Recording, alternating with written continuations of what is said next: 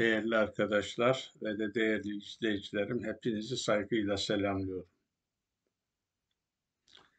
Allah'ın izniyle bugün de Pınar'ın kaynağından programlarımızın 162.sini gerçekleştireceğiz. Yine önemli konulara değineceğiz ve genelde de sorulara cevap vereceğiz. İlk defa programa Azerbaycan'dan yazan Yıldız Deniz Saydullah Evda kardeşimizin bu kardeşinize sorduğu bir soruyu cevaplayacağım. Bu biraz şahsımdan sormuş ama içerdiği konu genel. O yönden size takdim ediyorum. Merhaba saygıdeğer Hakkı Yılmaz Bey. Ben Yıldız Uraz Metova. Sizi 9 senedir YouTube kanal programlarınızı takip ediyorum. Emeğiniz büyük elbette. Biraz şahsi sual vereceğim izninizle elbette. Siz şimdiki Beytullah'a haç seferine gider miydiniz? Evet, tavaf, Kabe'nin etrafında dolaşıp şeytanları taşlamak için Evet, İbrahim'in yaptığı Beytullah ile şimdiki Beytullah hakkında fikrinizi öğrenmek isterim. Eğer aptalca bir soru sorduysam eğer şimdiden özür diliyorum. Eğer benim durumum haç seferine yetecek kadar müsait olursa ben elbette öğrenci ya da çocuk gelişmesine harcardım demiş. Teşekkür ederim. Orada. Biliyorsunuz konumuz haç değil de ben e, onu uzun uzun anlattık zamanında yine geldiği zaman kavramlarda haccı anlatacağım. Özetle söyleyeyim. Hac, müminlerin ilahiyat eğitimi vermeleri için bir hac komitesi kurup dünyadaki tüm insanları, Yahudisini, Hristiyanını, deist, ateist neyse, e, linguist falan hepsinin e, Mekke'de İbrahim'in yaşadığı yerde toplanıp ve orada ilahiyat eğitimi almalarını sağlamak demektir. Ve gücü olan herkesin de oraya gitmesi gerekir. İmkanı olan da gitmesi gerekir. Şimdi benim bu tanım da zaten e, anladınız ki şimdiki yapılan haçla İbrahim peygambere Allah'ın ilk uygulattığı haçla hac aynı şey değil. Beytullah da o Allah'ın evi değil. Yani bugün kapalı bir mekan eğitimden, öğretimden hani mahrum edilmiş küçücük bir bina. Etrafında dönmekte İslam'ın öngördüğü taif sıfatını hariç değil. Ve işte Haç suresinde de Allah İbrahim'e emreder, tüm sesten davet et, uzak yakın herkes oraya yorgun, argın, binitli, binitsiz gelsinler, orada ilahiyat eğitimi alsınlar diye emreder. Şimdiki haçta öyle bir şey söz konusu değil. Ha, burada arkadaşımızın sorduğu şeyden, evet siz şimdiki Beytullah'a haç seferine gider miydiniz? Evet. Şimdi gitmem. Ve kimsenin de gitmesini de istemiyorum. Çünkü o öyle değil. Ha. Ama bu dediğim gibi bizde şimdi dedim. Şimdi bu kardeşiniz 1975 yılında 26 yaşında saçlarına henüz ak bile düşmemişken hacca gitti. Oraya gitti. Ve orada durumu inceledi, gördü. Ama o günkü gidişimde Hani daha önce atalar dini dediğimiz din kitaplarda, ilmihal kitaplarındaki dini hem öğrenmiştik hem de öğretiyorduk. O zamanımız öyleydi. Biz bundan tevbe ettik. Bundan döndük. Allah inşallah tevbemizi kabul eder. Evet, oralarda o günkü ritüelleri biz de yaşadık. O ritüelleri iyi bilen ve iyi de anlatan biriydim. Şimdi ise herkese gerçek haccı anlatıyorum. Neden? Çünkü hani Kur'an'ımıza ve dinimize saldırılar başlayınca biz e, bu defa dini Kur'an'dan öğrenmek zorunda kaldık. Ona yöneldik ki çok şükür onunla da kendimizi kurtardık. Hani ayet var ya fefirru ilallah. Allah'a kaçın, Allah'a kaçın. Biz de Allah'a kaçtık. Allah'tan öğrendik dinimizi. Onu da yaşıyoruz, yaşamaya çalışıyoruz ve bildiklerimizi de işte değişik platformlarda kardeşlerimizle de paylaşıyoruz. Oraya gittiğimiz zaman çok acayip şeyler de gördük. Mesela ne Kabe'yi bilen var, ne haccı bilen var, ne tavafı bilen var. Tuhafınıza gider ama yanımda böyle bir şey hacı yani Türk ortalama 50-60 yaşındaki bir hacı bana sormuştu Kabe'yi göstererek. Bu hangi paşanın mezarı demişti. Aynen bu ifade. Hangi paşanın mezarı demişti. İşte öyle. Hatta onun ikinci haccıymış. İkinci defa gitmiş oraya. Evet, biz Kur'an'a baktığımız zamansa iş farklı. Biz de şimdi gerçek haccı e, Müslümanlara, insanlığa anlatmaya çalışıyoruz. İnşallah Müslümanların da yani gün olur, gerçek haccı uygulamalara nasip olur. Hatta şimdi e, hani dedim ya daha saçlarıma ak düşmemişken gittim. Şimdi şöyle bir durum var. Genelde usul fıkıhta buna çok önem verilir. Allah'ın emirlerini uygulamak bir alel fevr olur, bir de alel terahi olur. Yani bazı görevler, bazı emirler alel acele yapılması lazım. Bazıları da hani ömür içerisinde, zaman içerisinde de yapılması lazım gelir diye.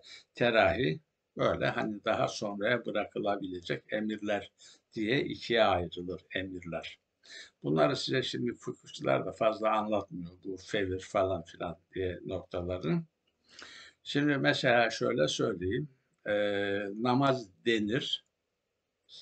Öyle söyleyeyim. Mesela alet terahi farzdır. Yani hemen vakit girer girmez kılınması gerekmez. Ve mesela işte şöyle söyleyeyim. E, bir adam e, namaz kılmamış diyelim. O hani sabah namazını kılmamış. Öğlen namazı ezanı okununcaya kadar o ondan sorumlu değil. Ama öğlen namazı ezan okunacağı o anda ona o emir gelir. Yap, yapmadığı için de hani günah derler, şu derler, bu derler. İşte bu buna benzer. Öğleyi de aynı öyle anlatalım. Öyle. Öğlen ezan okunur, namaz kılmaz vatandaş diyelim. Hemen kırması şart değil. Ta onun şeye kadar, e, ikindi namazının girişine kadar vakti var. Ne zaman isterse kılar. Bu tip uygulamaya terahi sonraya bırakma denir. Şimdi değerli dostlar, hac ibadeti alel fevr, alel acele yapılması lazım. Hükmü böyle. Hakikaten de öyle. Yani öyle söyleyeyim. Ee, ama fevr dediğimiz zaman alel acele. Hemen. Yani o işi yapmaya imkan bulunduğu anda onun yapılması gerekir. Usulü fıkıhta ve fıkıh kitaplarında da hac alel fevrdir. Alel acele yapılması lazım gelen bir ibadettir. Yani oraya gidip gelmeye gücü olan fırsatı ele geçirmiş kişinin ilk iş olarak oraya gidip gelmesi lazım. Mesela hatta şöyle örnekler de verilir. Bekar bir insan imkana kavuştu. O imkanla evlensin mi, hacca mı gitsin? Hac günü gelmezden evvel evlenirse e, hacca gitmesine gerek yok o parayla. Ama o hac günü geldiği zaman evlenmemişse, evliliğe harcamadıysa o parayı evliliğe harcaması lazım gelir denir. Ha. Bu hani malumatı verdikten sonra size şöyle söyleyeyim. Hani biz köyde yetiştik. Gariban, fakir, ayağı çarıklı, ayağı nasıldı bir insanız. Allah değişik imkanlar verdi, fırsat verdi. Biz de ilk fırsatta, ilk bu genişliğe kavuştuğumuz zaman hac görevimizi yapalım dedik. O günkü fıkıh bilgilerine göre de hani bu bilgi verdiğim alel fev yönünü de dikkate alarak Beşik'teki bebeğimizi de hanıma emanet ederek biz oralara gittik. O ritüellerde dolaştık geldik. Yani iyi bir turizm oldu. Gerçek haç değil. Ha, bizde ne zaman dinimize, imanımıza, Kur'an'ımıza saldırılar başladı ve biz dinimizi Kur'an'dan öğrenmeye başladık. Ondan sonra haccın mahiyetini de biz de Kur'an'ımızdan o zaman öğrendik. O zaman bilmiyorduk. Yani biz haccın gerçek haccı bilmeden bu işi dediğim gibi 26 yaşında yaptım. Ve hatta o zaman derlerdi Türkiye'nin en genç hacısı diye. Ama bir arkadaşımız daha vardı. Öyle benim yaşta genç. Çünkü şimdi biraz iş değişti bizlerden sonra da o zamanlar hani işten güçten kesilmiş, beli bükülmüş, idrarını tutamaz adamlar adının önüne de bir hacı eklensin şeyiyle falan hacca giderlerdi yani. Öyleydi. Gençlerin gitmesi söz konusu değildi. Ha, ben öyle gittim geldim. Şimdi öyle bir şeyin gitmesini kimseye önermiyorum. Çünkü gerçek haç o değil. Evet. Kardeşimizin dediği gibi gitmezdim şimdi. Tavaf Beytullah hakkında fikrinizi öğretmek isterim. Hac yazımızda bu uzunca var. Haçta neler öğretilir, oraya kimler gelir. Ama dediğim gibi oraya insanlar çağrılır. İlla, ki Müslümanlar, müminler gidecek diye bir şey yok. Şimdi es estağfurullah aptalca bir soru soruyorsam eğer şimdiden özüm hayır. Eğer benim durumum hac seferine yetecek kadar müsait olursa ben elbette öğrenci ya da çocuk kelimesine harcardım. Evet, çok güzel. Tebrik ederiz, teşekkür ederiz. Bu bilinç çok muazzam, güzel bir bilinçtir. Evet, bunun ötesinde geçtik ikinci bir konuya. Evet, bu konu yine ciğerimizi dağlayan konulardan bir tanesi. İslam düşmanı, Kur'an düşmanı trollerce yani çevreye, değişik ortamlarda, sosyal medyada hani ve öyle yaygınlaştırılan e, ne diyeceğiz hezeyanlarla ilgili bir şey. Bunu Osmaniye'den kardeşimiz yolladı. Evet, troller dedim. Troll biliyorsunuz anlamını. Siyasette şimdi çok o partinin trolü, bu partinin trolü. Troll, oltayla balık avlamak demek. Hani bunun Türkçe'de bir şey, oltayla balık avlayan ne yapar? Balıklara zokayı yutturur. Akılsız, beyinsiz balıklara zokayı yutturur. Yani troll demek, yani zokayı yutturan adam demek. Ve böylece yani dinde ilgili, Kur'an'la ilgili birçok hezeyanı ortaya atıyorlar ve böylece akılsız, bilinçsiz kişiler de onların ağına düşüyor, dinden, imandan çıkıyor. Ondan sonra ben deistim, yok ateistim falan filan diye de saçmalamalara başlıyorlar. Şimdi bunlar yani bu tip şeyler e, ne kadar diyeyim bir hayli liste yapmış. O listeyi burada size takdim edeyim. Bilginiz olsun diye bunları hepsini cevaplayacağım ama bugün bir tanesinin üzerinde duracağım. Bilgi vereyim. Başlığı şöyle atıyorlar. Ha, bunu söyleyeyim.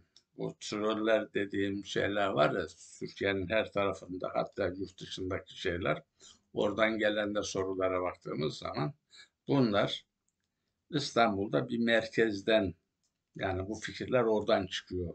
Onları gördüm, tanıdım. Onlarla da gerekli muhataplığı yaptım yani. Onu da söyleyeyim. Semavi dinlerin tanrısı çok garip bir tanrı. Başlık bu. Ondan sonra döktürmüşler aşağı doğru.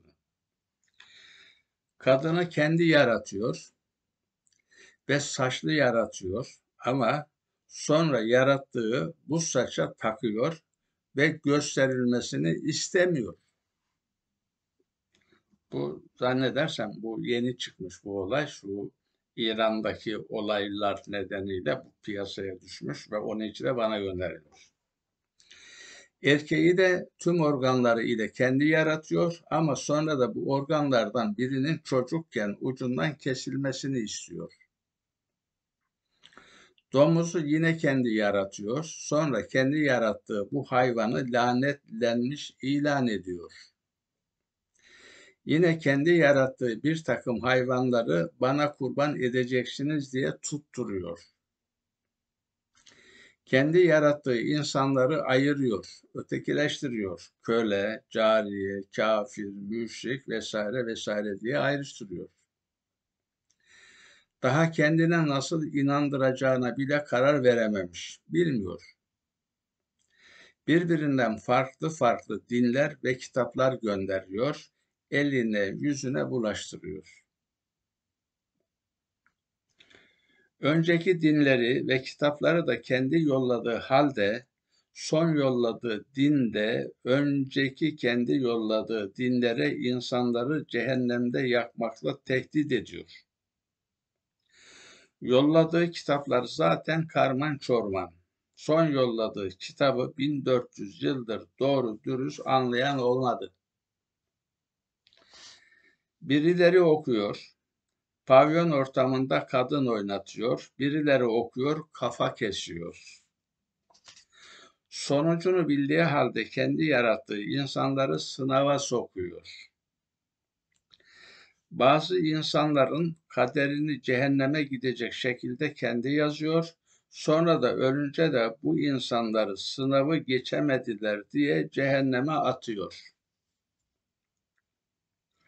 Küçük çocuklarla evliliği, köleliği, cariyeliği normal görüyor ve izin veriyor ama domuz eti yemeyi, içki içmeyi bunlardan daha sakıncalı görüp yasaklıyor. Bu benim elçimdir diye 1400 yıl önce bir son peygamber gönderiyor ve ona kadın ayarlıyor. Onun uşkurunun derdi kendi derdi oluyor. Sanki saklambaç oynamayı seviyor. Kendini göstermiyor ama araya birilerini koyup kendine kesinlikle inanılmasını istiyor. Aksi takdirde ne kadar iyi biri olursak olalım bizleri ölünce yakacağını söylüyor. Evet. Sinirli, asabi, kendi yarattığı insanlara hakaretler ediyor. Ben sonsuz merhamet sahibiyim diyor ama ölünce insanlara cehennemde işkence ediyor yakıyor, kazanda kaynatıyor, kızgın demirle dağılıyor, iril, irinli su içiriyor, kaynar su içiriyor. Böyle garip ve sorunlu bir tanrı olur mu? Böyle bir tanrı var olabilir mi ve ona inanılır mı? Dediğimde ise verilecek cevap belli. Ya bir buçuk milyar Müslüman yanlış biliyor da bir sen doğru biliyorsun öyle mi? diye. Evet. Bunlar yazılıyormuş. Not yollayan arkadaş da uydurulmuş dinden kaynaklanan akıl dışı sorgulamalar. Çok güzel. Ancak benim bu itirazların bazılarına cevap verecek yeterliliğim yok. İşi ehline havale ediyorum. Sevgi ve saygılarımla bilginize arz olur diye Bu notu da eklemek suretiyle bu kardeşimiz bana yolladı. Ha, şimdi gelelim konuya. Demek ki bu sohbette değerli dostlar, değerli kardeşlerim biz Allah'ı sorgulayacağız. Olay bu. Sohbetimizin konusu Allah'ı sorgulamak. Geçmişte peygamberler sorguladı. Gelin biz de sorgulayalım, bir bakalım. Allah bizim buradaki iddialara Allah'ın bize vereceği cevap, verdiği cevap neymiş? Bu anlatılanlar ne kadar doğru, ne kadar da ciddi. Evet. Şimdi e, burada şu maddeyi öne alalım önce. Birbirinden farklı farklı dinler ve kitaplar gönderiyor. Eline yüzüne bulaştırıyor. İddia bu. Biz de Allah'a soruyoruz. Yani hakikaten birbirinden farklı dinler yolladı mı? Birbirinden farklı kitaplar yolladı mı? Allah bu işi eline yüzüne bulaştırdı mı? İnceleyelim. Ne dersiniz? Evet, inceleyelim. Elimize Kur'an'ımızı alalım. Allah'ın bize yolladığı mesajları alalım. Bu densizlere, bu hadsizlere bilgi verelim. Verelim. Bilgi verelim bu hadsizlere. Birincisi, birbirinden farklı dinler ve kitaplar gönderiyor diyor. bu doğru mu? Kur'an'ı elimize aldık. Önce Ali İmran suresinin 19. ayetini ele aldık. Herkes bunu bilir, ezberledi zaten değil mi? İnnet dine indallahi el İslam. Şüphesiz Allah nezdinde din İslam'dır. Bu kadar. Allah nezdinde din İslam'dır. Allah İslam dininden başka din yollamadı ve tanımadı. Şimdi o ayetin devamında bazı işaretler var. Kendisine kitap verilen kimseler de ancak kendilerine o bilgi geldikten sonra aralarındaki kıskançlıktan dolayı ayrılığa düştüler. Kim de Allah'ın ayetlerini örtbas ederse artık şüphesiz Allah hesabı çabuklaştırandır.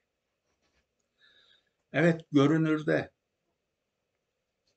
Yahudilik, Hristiyanlık falan, Budizm, Konfüçyüzm falan filan gibi böyle bir din ayrılığı varsa o Allah'tan değil. Allah tek din tanıdım diyor. O da İslam'dır diyor. Sonradan ki farklılaşmalar insanların kendi aralarında çatışmalarından, kıskançlıklarından, çıkar kaygılarından dolayı kendilerinin uydurduğu şeylerdir diyor. Ne dersiniz? Allah farklı farklı din göndermemiş. Tek İslam dinini göndermiş. İslam ne? Onu da özetleyeyim de sonra üzerine vurgu yapalım. İslam dini silim kökünden bir fal babından geliyor. Bunu çok anlattık. Beraat uzak tutma, korkudan, kuşkudan, beladan, huzursuzluktan, mutsuzluktan, kavgadan, savaştan, ağrıdan, sızıdan, maddi ve manevi sıkıntılardan, zayıflıktan, çürüklükten, tüm olumsuzluklardan uzaklaştırma demektir. Allah'ın dini bu. Yani bu İslam dini yapısal olarak, içerik olarak oradaki hikmetleri dikkate aldığımız zaman ne olacakmış? Korku yok, kuşku yok, bela yok, huzursuzluk yok, mutsuzluk yok, kavga yok, savaş yok, ağrı yok, sız yok, maddi manevi sıkıntılar yok, zayıflık yok, çürüklük yok. Bunu sağlayacaktır. Allah bunlar sağlasın diye dinin adını İslam koymuş ve başka bir dinde tanımamış. Ha Müslüman da bunları gerçekleştiren adam demek. O da aktif olarak hemen devreye girip toplumdaki kavgayı, savaşı, huzursuzluğu, derdi, tasayı uzaklaştıran adam demek. Müslümana girmiyorum şimdi. Sadece İslam'ın adından bahsediyorum. Allah'ın koyduğu din bu. Ha. Evet Allah bunu demiş de bak başka bir şey ya insanlar hani başka dine doğru gitmiyor mu? Gidiyorlar. Allah buna nasıl bakıyor? Ne dersiniz? Bakın ona ne dersiniz? Yine aynı surenin yani Ali İmran suresinin 85. ayetini hemen ele alalım. Ve kim İslam'dan başka bir din ararsa o takdirde hiçbir zaman ondan kabul edilmeyecektir. Ve İslam'dan başka din arayan kimse ahirette zarar edenlerden olacaktır. Buyurun. Buyurun. Allah ne diyor? Benim nezdimde din İslam'dır diyor. Başka din kabul etmem diyor. İslam dışı bir din arayan olursa ondan o kabul edilmez. O da ahirette zarara uğrar diyor. Ha. Bu ayetlerin ikisinde şunu şey yapalım. Hani dedi ki devletler içerisindeki rejimler, yönetim şekilleri de dindir, beşeri dindir. Onların da bu ayetler müvaceyesinde Allah'ın koyduğu bu İslam dinini yaşatacak ilkeler, kanunlar, yönetmenlikler yapmak zorunluluğu vardır. Anayasasını, böyle diyeyim, medeni yasayı, yurttaşlık yasasını, idari yasaları, ceza yasaları İslam kurallarına göre yaparlarsa hem toplumları Müslümanlaşır yani dersiz tasasız sorunsuz olur hem de ahirette kendilerini kurtarırlar. Onun da burada uyarısını yapayım. Çünkü innet dine endellahi İslam din dediğin zaman her toplumun yönetim şekli bir dindir. Beşeri dindir. Onun İslam'a uygun olması şart. İslam ilkelerine göre uyması şart. Ha, Şimdi geldik İslam'da. Ama topluma baktığımız zaman hatta Kur'an'a da baktığımız zaman çok değişik ifadeler var. Ne onlar? Şimdi okuyalım yine. Bak hep Allah'ı sorguluyoruz. Yani aklımıza gelen hindiklerin cevabının hepsi Allah'ta. Bizden yok. Şimdi Bakara suresinin 111 ila 113. ayetlerini takdim ediyorum. Bir de inananları Yahudileştirmek, Hristiyan ulaştırmak isteyenler var. Aa, şimdi dinsizleştirmek, deistleştirmek, ateistleştirmek var ya. Bir de bunlar var. O günün de bir trolleri var. Öyle diyelim. Şimdi onlar diyor ki Yahudi ve Hristiyanlardan başkası asla cennete giremeyecek dediler. Hoppala. Yahudiler demiş ki Yahudiden başkası cennete giremez. Hristiyanlar da demiş ki Hristiyanlardan başkası cennete giremez. Şimdi halbuki Yahudilik diye de bir din yok. Hristiyanlık diye de din. Bu neydi? Yukarıdaki çıkarcıların uydurduğu şekillerdi. Anlatacağım onu. Bu onların kendi kuruntularıdır. De ki eğer doğru kimseler iseniz delilini getirin. Hadi bakalım. Allah'tan bu konuyla ilgili bir bilgi getirin bakalım. Bir delil getirin. Hayır, hayır. Öyle kuruntuyla olmaz bu. Aksine kim iyileştiren, güzelleştiren biri olarak kendisini Allah için İslamlaştırırsa işte onun Rabbi katında ödülü vardır. Onlar hiç onlara hiçbir korku da yoktur ve onlar üzülmezler de. Buyurun. Allah ne diyor? Öyle kuruntu yok. Kim kendini iyileştirir, güzelleştirir de ve İslamlaştırırsa, İslam dinine girerse İslam ödül onun olur. Cennete o girer. Bak devam edelim. Ve Yahudiler, Hristiyanlar bir şey Yahudiler, Hristiyanlar bir şey üzerine değillerdir. Yani onların kayda değer bir yanları yoktur dediler. Hristiyanlar da Yahudiler bir şey üzerinde değillerdir. Yani onların kayda değer bir yanları yoktur dediler. Oysa onlar kitabı okuyorlar. Bilmeyen kimseler de onların sözü gibisin dediler. Artık içinde anlaşmazlık edip durdukları şeylerde kıyamet günü aralarında Allah ona hüküm verecektir. Bu ifadeler tanıdık geldi mi yurdumuzda da? Hani bunlar Yahudilik ve Hristiyanlıktan bahseder. Yahudilik ne demek? Bu bakın şöyle söyleyeyim. Musa peygamberin getirdiği dinin adı ne? İslam. İsa peygamberin getirdiği dinin adı ne? İslam. Allah İslam dışı bir şey yapmamış. Yahudiler dediğimiz zaman burada ta işte e, e, ne diyeceğim Yakup'un oğlu Yahudi'ye dayanan veyahut da sonradan dönme diye şey yaptığımız o grubun adı.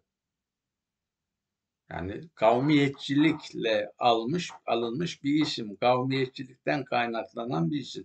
Hristiyan dediğimiz zaman İsa taraftarı demek. Hris, İsa'nın adıdır Latince'de.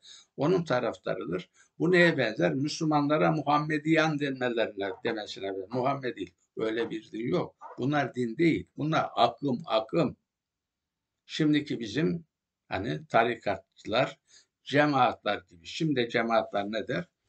Veyahut da tarikatlar. Bizim tarikat hak, gerisi batıl, bize giren yani onlar cennete girecekler odur. Ne Allah da ne diyor? Tilke emaniyum. Bu onların kuruntularıdır. Öyle bir şey yok. Ölçü İslam'da. Şimdi yine bu konularda biraz daha Allah'tan cevap alalım. Madem ki sorguluyoruz Allah'ı. Bakara 135 ve Yahudiler Yahudi olunuz ki kılavuzlandığınız doğru yolu bulasınız. Yahudiler topluma ne diyor? Onların trolleri. Yahudi olursanız doğru yoldasınız diyorlar. Hristiyanlar da Hristiyan olunuz ki kılavuzlandığınız doğru bulasınız dediler. İşte bu Hristiyanlar da öyle diyorlar. İşte tanıdık geldi değil mi? Yani yeni Yahudiler, yeni Hristiyanları herhalde gözünüz önüne getirdiniz. Sen de ki tam tersi. Küfürden Allah'a ortak koşmaktan dönen biri olarak Allah'ın ortaklığının ortaklarının olacağını kabul etmemiş olan İbrahim'in dinini yaşayan tarzına tamam. Tam tersi. Evet, ne yapacak mısın? İbrahim'in dinine dönecekmişsin. O da İslam'dı. Değil mi? Haç suresinin son ayetinde Huve semmakumul müslümin. Size Müslüman adını verdi ve sizi atanız İbrahim'in dinine, milletine. Evet. Şimdi öyleyse Bakara 208. Ey iman etmiş kişiler! Hepiniz topluca İslam'a silin diye geçer. İslam'ın kökü. Evet. Barışa, güvenliğe, sağlamla girin ve şeytanın adımlarını izlemeyin. Şüphesiz o sizin için apaçık bir düşmandır. Buyurun. Allah bizi nereye davet ediyor? Öyle. Şimdi şöyle burada başka bilgiler de bize takdim edeceğim. Şimdi şöyle. Bakın Şura suresindeki bir paragrafta Allah Allah dinden Nuh'a yükümlülük olarak ulaştırdığı şeyi sana vahyettiğimizi İbrahim'e, Musa'ya ve İsa'ya yükümlülük olarak ulaştırdığımız şeyi yaşam yolu yaptı. Gördünüz mü? Allah Nuh'tan başlamış İbrahim, Musa, İsa aradaki bütün peygamberler ve bizim peygamberimize dahil sana yaşam yolu yaptı. Demek ki İbrahim'in diniyle bizim dinimizin arasında fark yok. Musa'nın orijinal diniyle bizim elimizdeki Kur'an'daki din arasında fark yok. İsa'nın diniyle bizim elimizdeki Kur'an'daki dinin arasında hiç fark yok. Evet. Allah ne diyor? Dini hayata geçirin, ayakta tutun ve onda ayrılığa düşmeyin. Senin kendilerini davet edip ettiğin şey ortak koşan kimselere ağır geldi. Allah dilediğini kendisine seçer ve kalpten yönelenler de e, o davet edilene kılavuzlar. Ve onlar ancak kendilerine bilgi geldikten sonra aralarında taşkınlık yüzünden ayrılığa düştüler. Din tek olmasına rağmen, din tek İslam olmasına rağmen taşkınlık yüzünden. Taşkınlık ne? Kulluk sınırını aştıklarından, kendilerini de ilahlığa, Rabliye, Allah'lığa soyundurduklarından dolayı böyle o dini, bu dini, o tarikatı, bu cemaati öyle icat ettiler. Tek Allah'ın dininde, şirksiz olan dinde böyle bir şey söz konusu değildi. Evet. Eğer Rabbin tarafından adı konmuş bir süre sonuna kadar sözü geçmemiş olsaydı aralarında kesinlikle gerçekleştirilirdi. Ve şüphesiz kendilerinden sonra kitaba varis kılınan kişiler Kur'an'ın kesinlikle kararsızlığa götüren kesin olmayan yetersiz bilgi içindedirler. Evet şimdi burada çok önemli bilgi var. Bakın şimdi eğer ki Allah suçluların cezasını ahirete vermeyeceğim diye bir karar almamış olsa, öyle bir karar olmasaydı dünyada hepsinin belasını verirdi bu tefrikacıların, din tüccarlarının, din ayrımcıların, din ötekileştiricilerinin. Ama burada bir şey daha dikkat eder. Şimdi kitaba varis olan kişiler Kur'an'dan kesinlikle kararsızlığa götüren kesin olmayan yetersiz bilgi içindedirler. Bu iddiada bulunanlar, bölünenlerin hepsi, başta birbirinden farklı farklı dinler, kitaplar gönderdi diyenlerin hepsi bakın Kur'an hakkında, İslam hakkında yetersiz bilgiye sahiplerdir. Evet, bunlar bunu bilirlerse, bakın bunu bilirlerse, Kur'an'ı iyi incelerlerse Allah'ın kesin olarak İslam dininden başka din yollamadığını, yani farklı farklı dinler yollamadığını kesin olarak görürler ve bilirler. İncelesinler. Ve şöyle bir şey var, onu da söyleyeyim. Bakın burada kısadan şey yapayım. Zuhruf 45'te Cenab-ı Hak peygambere de duyurur. O çevresindeki Yahudi ve Hristiyanlar falan filan var ya onlara şey yaparken sistem ederek ve sen elçilerimizden senden önce gönderdiğimiz kişilere sor. Hadi senden evvel senin çağdaşını yaşayan orada Sabiler vardı. Evet, Yahudiler vardı, Hristiyanlar vardı. Bunlara kitap verilmişti. Bak senden önce elçilerin arkasından gittiğini söyleyen kimselerdi bunlar. Onlara sor bakalım. Bunları bir araştır.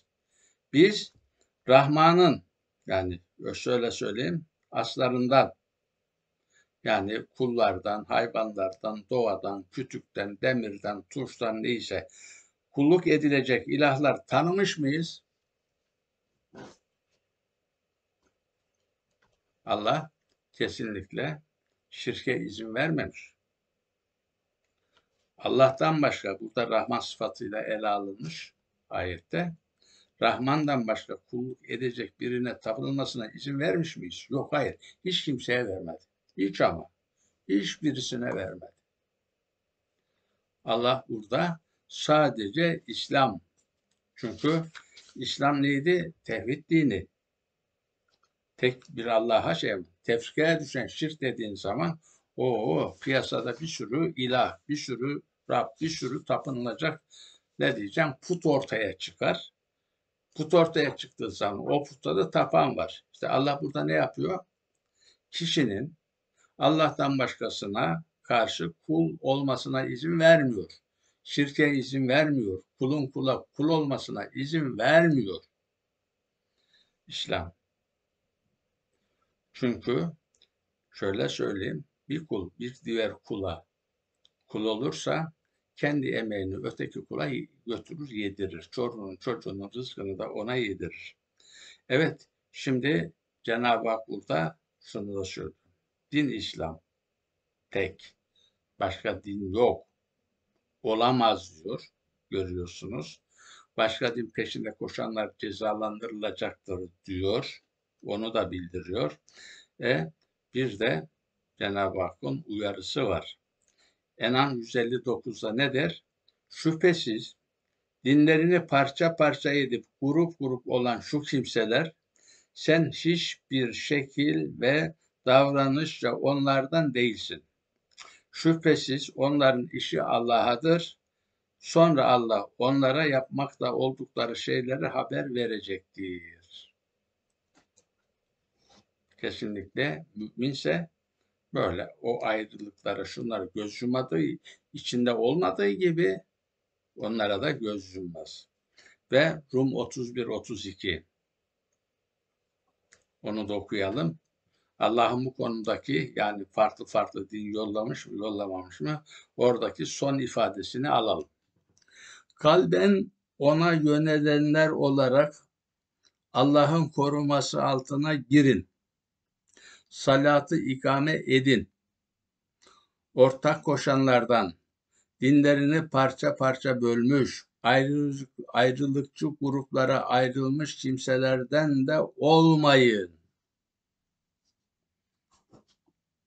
Her ayrılıkçı grup kendi yanlarındaki şeylerle böbürlenmektedirler. Çünkü ayrılırsan o yalan yanlış görüşün sahiplenirsin, onu din edinirsin, hevanı din edinirsin veyahut da o grubun tezi, ibadet şekli, ritüeli falan onları din edinirsin, onunla da övünür gidersin, sonunda da belayı bulursun diyor Cenab-ı Hak. Bu uyarıyı yapıyor.